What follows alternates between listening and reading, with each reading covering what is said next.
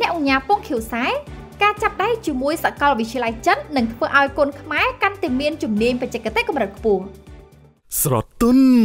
ស្រស់ស្រាយទាំងអស់គ្នាវឌ្ឍនៈព្រីមៀមឡៃជំនាញបច្ចេកទេសច្បាស់លាស់ក្នុងការធ្វើការងារកម្ពុជាកំពុងតែមានតម្រូវការហើយកូនខ្មែរបច្ចុប្បន្នពូកែនឹងមានជំនាញបច្ចេកទេសច្បាស់លាស់អាចធ្វើការសាងសង់សម្រាប់បានសមិទ្ធផលធំធំជាច្រើន ដូចជាស្ពានព្រះមនីវងស្ពានកោះពេជ្រកោះនរាដែលសុទ្ធតែសាងសង់ឡើងដោយស្នាដៃកូនខ្មែរក្រោយឆ្លងកាត់ការសិក្សារៀនសូត្រមួយចំនួនពីប្រទេសចិនកាលនេះអ្នកញ៉ាពងខៀវសែយល់ឃើញថាការចាប់ដៃសហការគ្នាជាមួយសាកលវិទ្យាល័យចិននឹងធ្វើឲ្យកូនខ្មែរកាន់តែមានជំនាញបច្ចេកទេសកម្រិតខ្ពស់បន្ថែមទៀតផ្ដល់បទសម្ភាសជាមួយអ្នកកាសែតជាច្រើននៅក្នុងកម្មវិធីសម្ពោធជាផ្លូវការនៃសាកលវិទ្យាល័យបច្ចេកវិទ្យានិងវិទ្យាសាស្ត្រកម្ពុជា Chemtech នាថ្ងៃទី20ខែធ្នូឆ្នាំ2023អ្នកញ៉ាពងខៀវសាយបានលើកឡើងថាសាកលវិទ្យាល័យ Chemtech មានមុខវិជ្ជាសិក្សាចំនួន5ដែលផ្ដោតសំខាន់លើការជំរុញជំនាញបច្ចេកវិទ្យានិងវិទ្យាសាស្ត្រដែលបច្ចុប្បន្នមានកូនសិស្សកំពុងសិក្សារៀនសូត្រចំនួន130នាក់ហើយក្នុងឆ្នាំ2024ខាងមុខនឹងកើនឡើងដល់260នាក់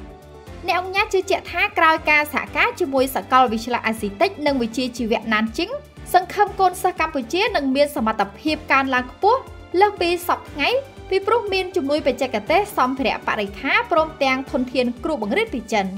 អ្នកញ៉ាបន្តថាបច្ចុប្បន្នកូនខ្មែរទៅរៀនបច្ចេកទេសនៅចិនមានចំនួនច្រើននិងមានចំណេះជំនាញច្បាស់លាស់អាចសាងសង់ស្ពានព្រះមនីវងនិងស្ពានកោះពេជ្រកោះនរាបានរឹងមាំនិងមានគុណភាពខ្ពស់ខ្ញុំមានសុតិធិនិយមខ្ពស់ចំពោះកូនខ្មែរ ពីព្រោះកូនខ្មែរចូលចិត្តរៀនឧស្សាហ៍ព្យាយាមក្នុងការសិក្សារៀនសូត្រជាពិសេសគឺបច្ចេកទេសពីព្រោះងាយស្រួលក្នុងការរកការងារធ្វើនិងបានប្រាក់ខែខ្ពស់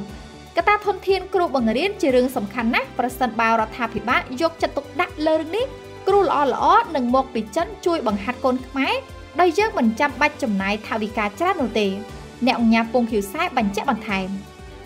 សូមជម្រាបជូនថាសាកលវិទ្យាល័យបច្ចេកវិទ្យានិងវិទ្យាសាស្ត្រកម្ពុជា